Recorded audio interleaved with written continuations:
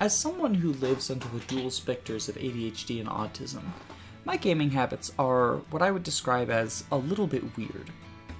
I find myself getting hyperfixated on either a specific game or a specific series of games for large chunks of time.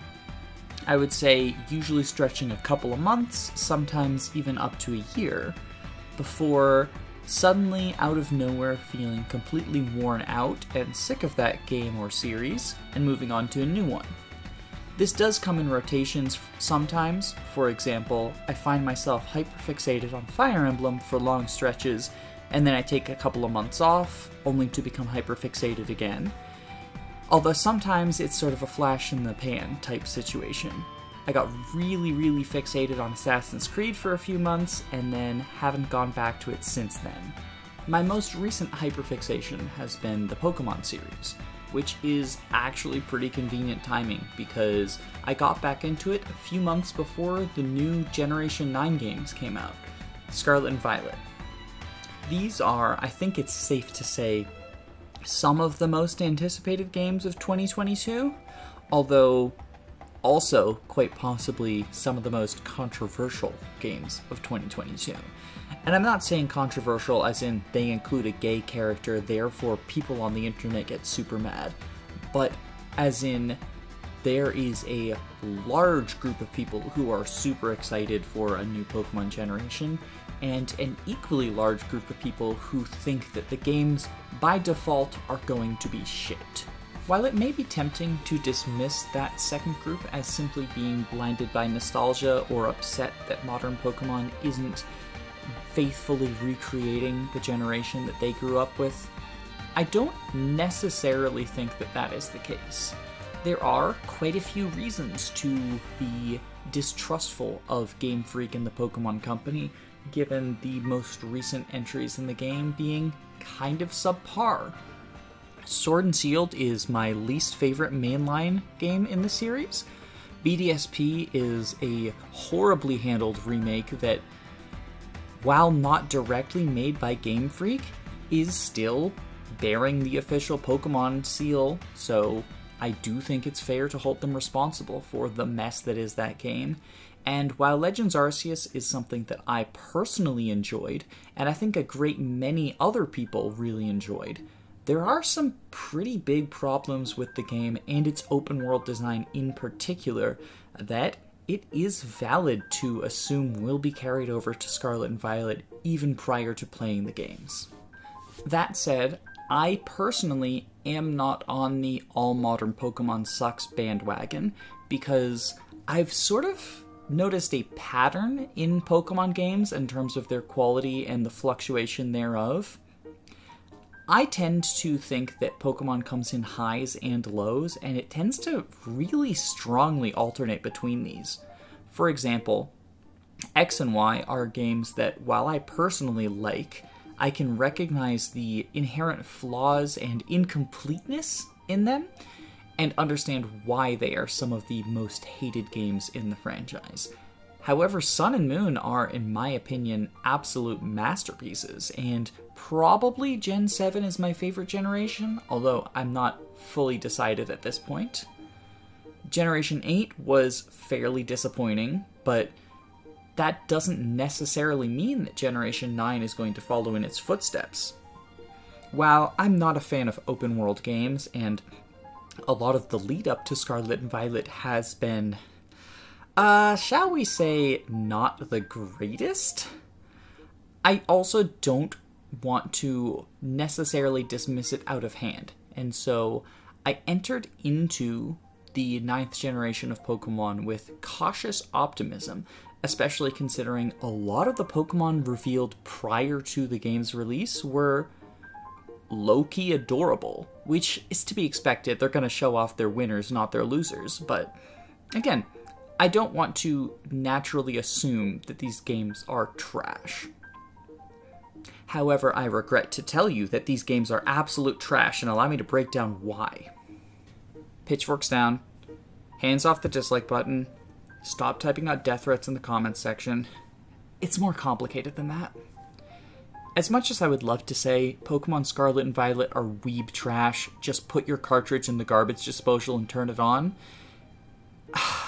that would be dishonest and inflammatory, and that sort of sentiment is reserved for video thumbnails and titles. In the actual body of my work, I try not to be inflammatory and hyperbolic. I've actually been having a lot of fun with Pokemon Scarlet, and there are several features that made me very excited. Unfortunately, the way that the game is held together and some mind bogglingly stupid decisions lead me to dislike it more than like it. I think that this might actually take the crown from Sword and Shield for my least favorite Pokemon generation. I'm going to break down why and try to avoid late game spoilers. However, given the open world nature of Pokemon Scarlet and Violet, if you are trying to avoid spoilers completely, I would recommend clicking off. It's impossible for me to say what gym would be your first gym and which direction you would head out, and while there are definitely some areas that are more late game and some that are more early game, it's kind of hard for me to know what direction your specific playthrough made, and I think impossible, therefore, to say exactly how far in the spoilers go. I'm not going to talk about anything beyond my first two gyms, my first two Titans, and my first one Team Starbase, but that doesn't mean that I didn't tackle them in a different order than you. So, yeah, consider this a spoiler warning. Part 1 The Good. As this video is probably going to be mostly negatives, I figured it would be appropriate to start with the positives in order to show that I'm not just an old lady hating on modern games. For the first time in the entire Pokemon franchise, there is in depth character customization. This goes beyond simply selecting a portrait between the different skin and hair colors, but down to picking your style, giving yourself freckles and beauty marks. It's not the most in depth thing in the world, but there's 12 different types of eyebrows, for example. Your taste in Pokemon design is obviously subjective, but I like most of the new Pokemon, and even the ones that I'm not a huge fan of, I don't hate, both from a aesthetics perspective and a gameplay perspective. In fact, my team has been a rotating roster of new Pokemon because I can't decide on just six who I want in my party. While some of them are regional variants of old classics, such as the fighting type Tauros or the new ground and poison type Wooper, others are brand new, like Fidough, the pure fairy dog made out of bread. In addition to being a fan of the Pokemon designs, I also really like a lot of the character designs. It is a Pokemon game, so their characterization is somewhat limited, but it's better, in my subjective opinion, than the characters in Sword and Shield. As an early example, Hop is one of the most notoriously stupid rivals in the series, whereas your rival in Scarlet and Violet is already a champion and uses lower rank Pokemon in the earlier fights with you because she wants to be on the same level as you. She has a thing about being obsessed with battling. It's kid stuff because it's a kid's game, but it's more interesting than just Hop running around and challenging you for seemingly no reason.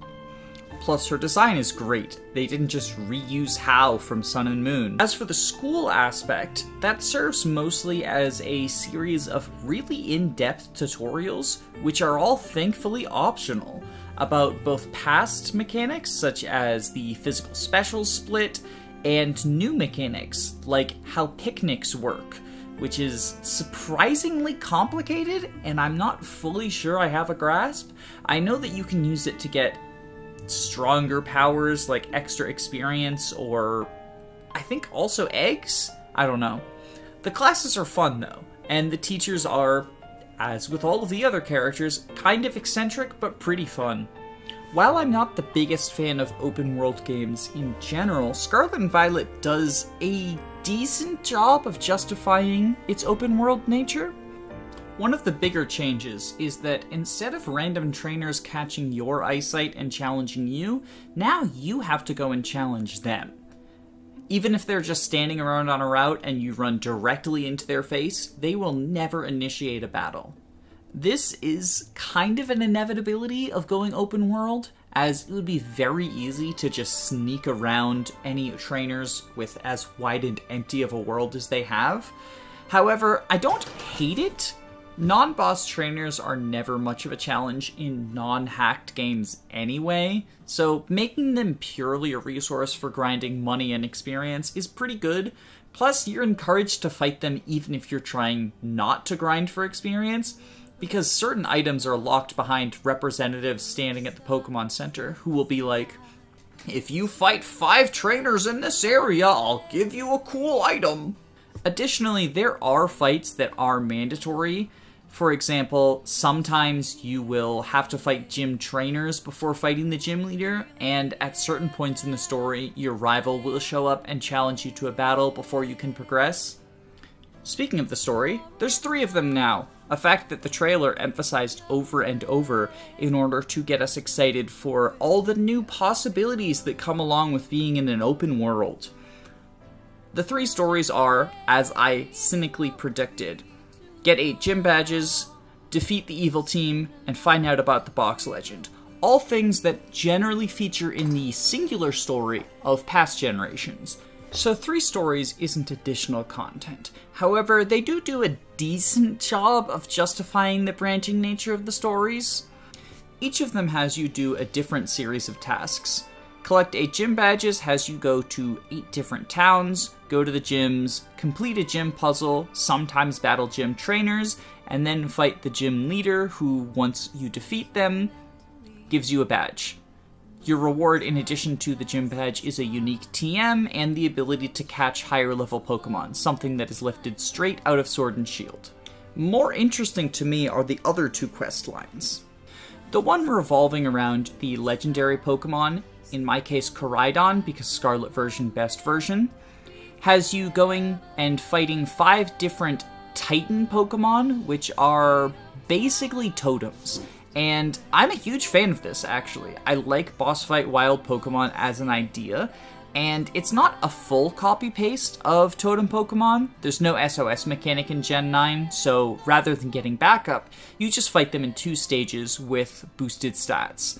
In the first stage, you are fighting against them on your own, and in the second stage, you fight them in a 2v1 double battle where you get help from an NPC. However, they are buffed and tend to be stronger than a Pokemon in your party if you are keeping on level. Your reward for this is new movement options for Koraidon, or if you're playing the bad version of the game, Miraidon. For example, when I defeated my first Titan, I got the ability to swim on the back of Koraidon. The third and most interesting is the Team Star storyline. When I say most interesting, I don't mean plot wise, it is still just a generic evil team story, nothing we haven't seen a million times, and is definitely always the worst part of any Pokemon game. But mechanically, they kind of beefed it up. It combines the Titans with the gym battles and is pretty interesting. You start by invading an elemental themed base and bring in a couple of Pokemon to auto battle with other Pokemon. Once you've defeated all of the grunts through auto battles, you then get the chance to fight the Team Star boss, or equivalent to admins in previous games.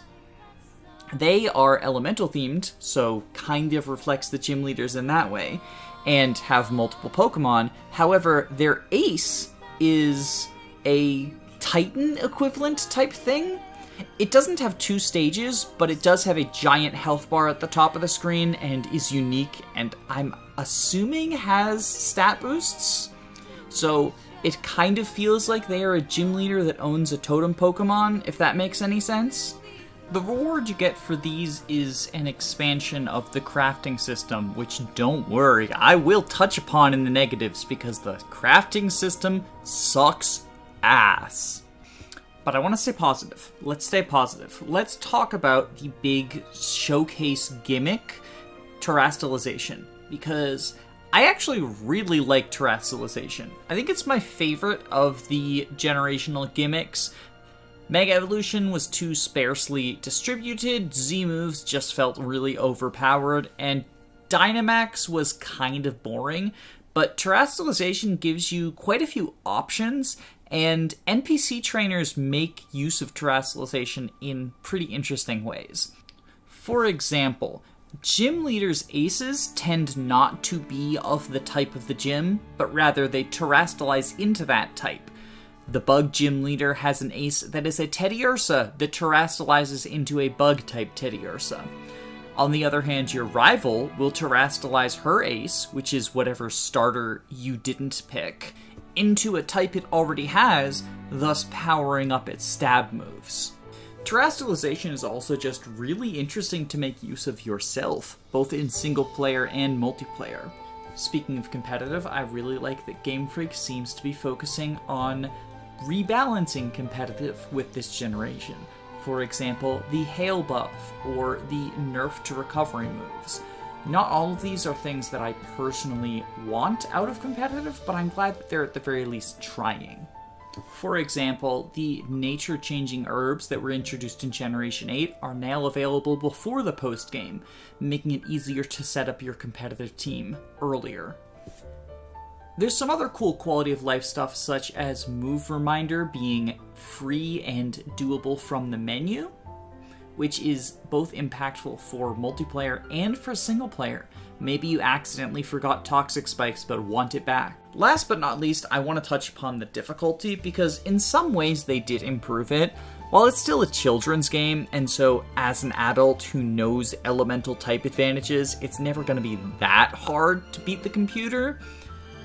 They did make some major strides in making the computer less completely brain dead. The AI is still kind of broken, but gym leaders no longer have only two or three Pokemon. I fought one with four Pokemon fairly early in the story, and I wouldn't be surprised if we went back to having five or even six Pokemon in late game gym leader parties. However, there are other aspects where the difficulty has definitely gotten significantly worse, and that's going to serve as a nice transition into part two. Part two the stinky, stinky, stinky bad, stinky bad. Okay, so despite the fact that we clear the very low bar of having more than three Pokemon on our gym leaders teams and having fully evolved Pokemon on the gym leaders teams, things that are surprisingly rare in modern Pokemon games, we do still have some problems of the for lack of a better term, babification of the difficulty. They really took the fact that these are kids' games and ran with it. And I will excuse some amount of lack of difficulty by the fact that these are kids' games. They are intended for children, not for adult audiences. However, Game Freak really does seem committed to removing all possible forms of difficulty from the Pokemon franchise. For the third time in a row, your rival takes the Pokemon who you have a type advantage over, as opposed to the one who has a type advantage over you. Additionally, they've removed the option to play on set mode, which technically doesn't actually make the game any harder because you can just always choose not to switch out, but it does add the time tax of pressing B, and the removal of set mode feels completely pointless and arbitrary.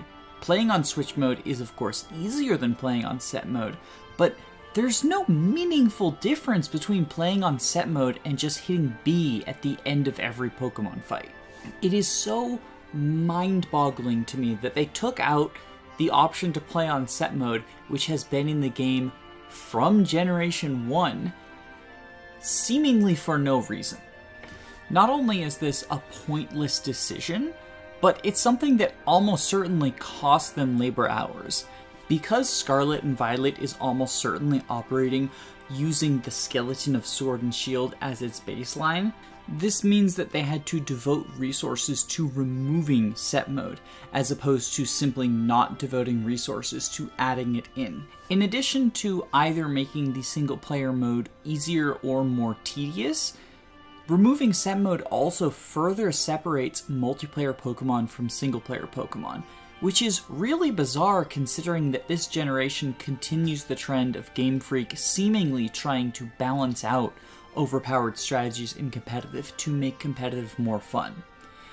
but you don't play on Switch mode in competitive, you play on set. If you played on Switch mode in competitive, matches would simply be decided by whoever gets the first knockout, because then the opposing player could always switch to their counter.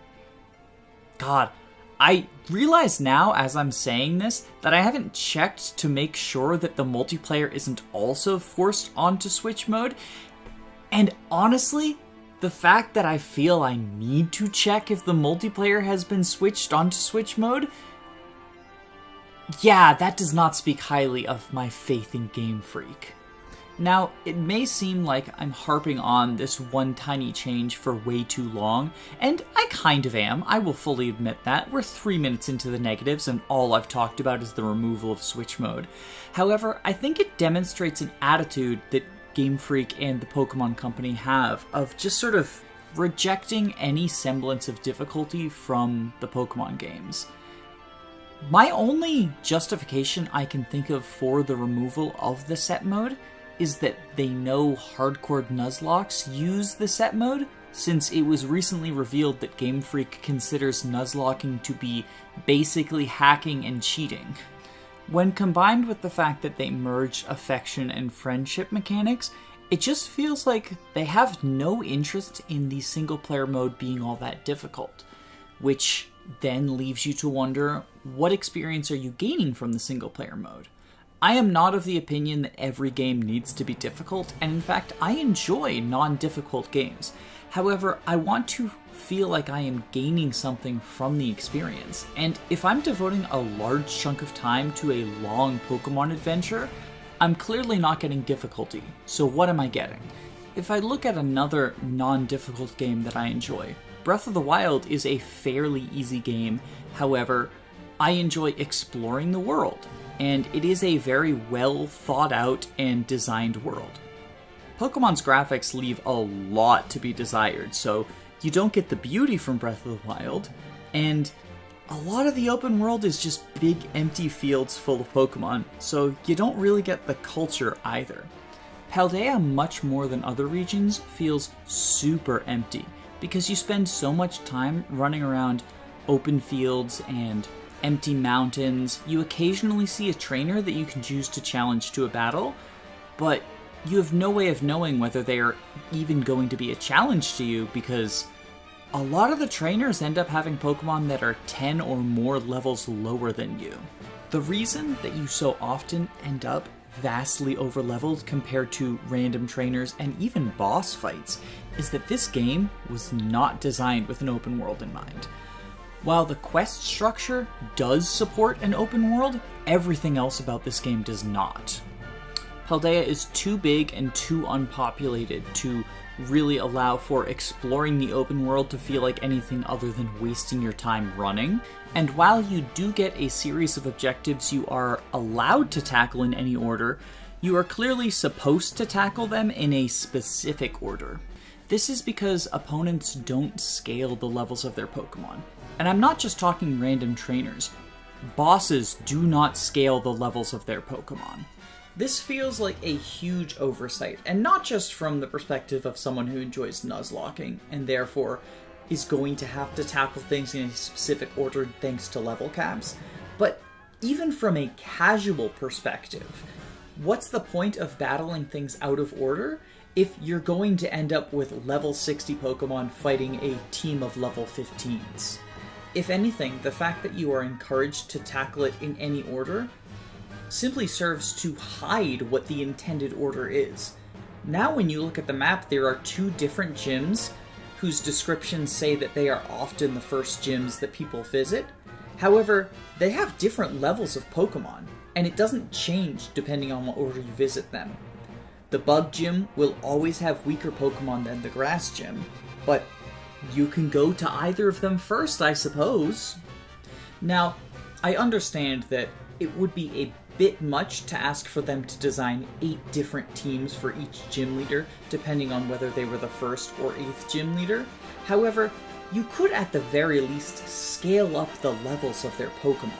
And they're keeping track of what order you complete objectives in, as when you look on the map, it shows you 1, 2, 3, 4, etc., to indicate which objective you completed first, second, third, overall. Additionally, within each story, there are events that happen after a certain number of things. For example, you have to fight your rival before you can challenge the third gym. No matter which gym you choose to challenge third, she will always be waiting for you in the lobby of the building. Additionally, the actual story adjusts based on the order in which you do events. There is a cutscene that takes place after you defeat the first Titan, and that cutscene will take place no matter which Titan you defeat first. This actually led to a hilarious moment during my first playthrough. I accidentally fought a harder Team Star base before tackling an easier one because there is no indication of what level the various objectives should be tackled at. As such, when I approached my second Team Star base, I got a phone call where someone told me, Team Star is on the lookout for you, this is going to be harder than it was last time.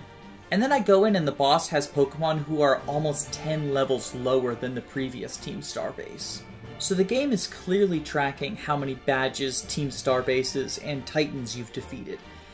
And they've shown us in the past that they have the capability of adjusting the levels of your opponent's Pokemon based on certain factors, such as in the Armor of Isle, where you will face much higher level Pokemon if you are in the post game compared to not in the post game.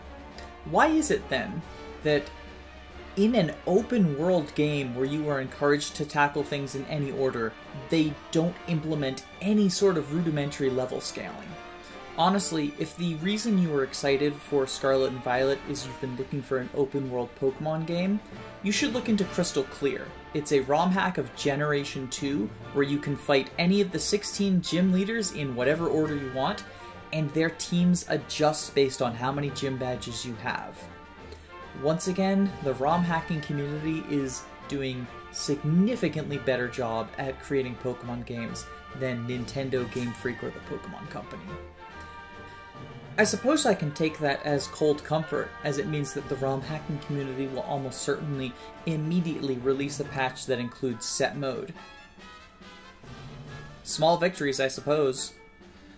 So, there is one more new feature to Pokemon Scarlet and Violet that just absolutely infuriates me, and that is the crafting system. Why Pokemon decided they need a crafting system is beyond me.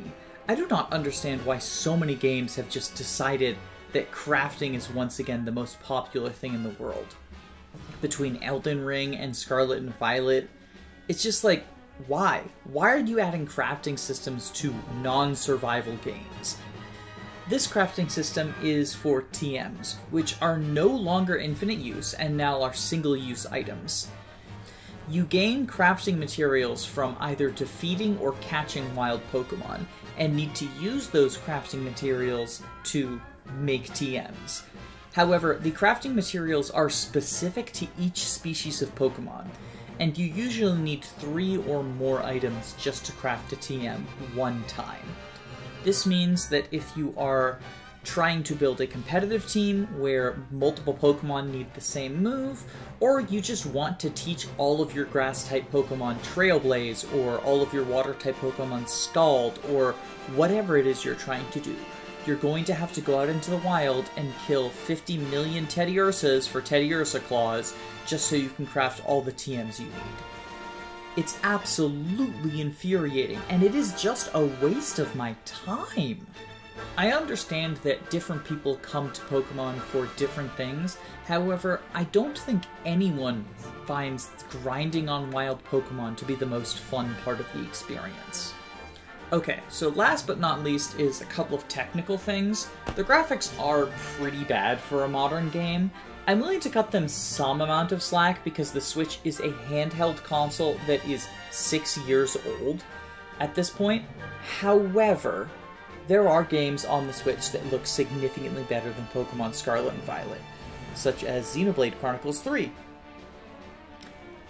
I don't think graphics are the most important thing in the world, so it doesn't bother me that much, but it does feel a little bit odd that for a game that was so highly anticipated and they knew was going to be a big seller. They didn't put a little bit more time into making sure that it looked nice. What I am willing to harp on about, however, is that it is embarrassing that nine generations in, we do not have voice acting for Pokemon. Now, I don't expect every single trainer to voice act their lines, but something like Three Houses, where major cutscenes are fully voiced, feels like the bare minimum for the highest selling multimedia franchise in the world. This is especially apparent during some of the many cutscenes where the text auto scrolls. So if you aren't able to read fast enough, I guess eat shit? They should have at least voiced those cutscenes. Like, that's inexcusable. But yeah, those are my thoughts on Pokemon Scarlet and Violet. It's ultimately really disappointing, and is probably the game that is making me lose faith in the Pokemon Company's ability to make good Pokemon games. I would say just uh, play it if you want to, but don't expect the thrilling open world Pokemon experience that you were hoping for. I'm excited to see what ROM hackers do with this because it feels like it is only three or four changes away from being something really special. I'm sure there's some way to add scaling as far as the uh, boss encounters go, and that would go a long way towards making this a very, very fun experience. I do want to close by saying I am still playing and enjoying the game, despite its significant flaws. It's probably not one I will revisit, at least not until there are some significant mods in place, but uh, yeah, I'm liking it. Check it out for yourself if you want, but if you don't think it's worth $60, I honestly don't blame you. Part 3 The Shiny! Okay, as a quick treat for everyone who stuck around to the end, very funny story from when I was playing Pokemon Scarlet.